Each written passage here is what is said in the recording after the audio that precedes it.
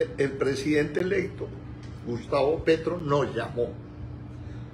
Martes, 2 de la tarde en Bogotá, en un edificio que era un apartohotel.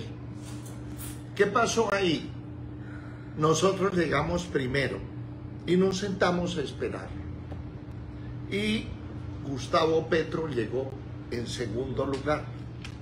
Y apenas me vio, me pidió que me levantara, que quería darme un abrazo con el fin de decirme, perdóneme todo lo que lo lastimé.